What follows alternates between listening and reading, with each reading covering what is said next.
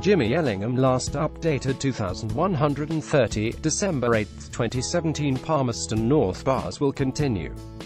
Pulling pints until 3 a.m. after an early closing trial was quietly shelved.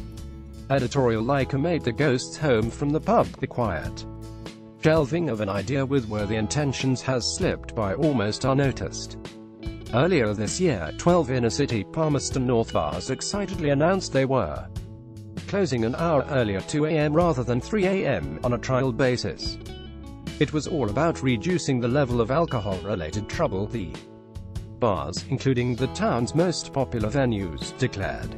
But recently, the trial dissolved into nothing, despite police recording a drop in late-night call-outs in the central city. More early bar closure trial tanks Palmerston North Bars Club together to curb alcohol abuse with curfew alcohol preloading always been a problem in Manawatu, says hospitality expert the Daily owner Ricky.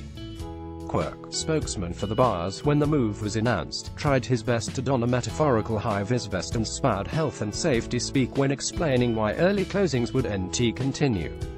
He said more fights were breaking out when staff were clearing the busy bar at the end of the night and there was a rise in disorder on the streets.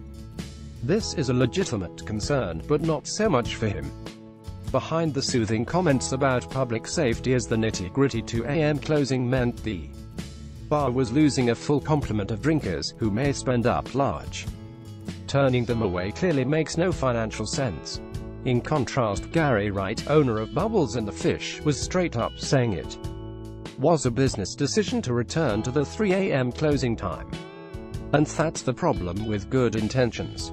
Against the cold hard reality of making money, a must for any business, they are worthless. So what's changed in the interim? A bar owners who were concerned about alcohol-related trouble in the CBD now not so bothered.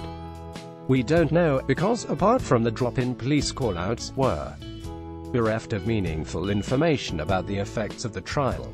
We're also left to wonder what might have been if early closing were given a proper chance to bed in and change people's behavior long-term. Bars have instead decided to focus on the bottom line, as they're entitled to do. From now on though, the hospitality industry could do well to avoid the hackneyed old cliché it's prone to of blaming all alcohol-related trouble on preloading. Palmerston North's industry has lost the right to provide virtuous social commentary and will instead stick to its knitting of giving us a venue at which to drink. Cheers to that.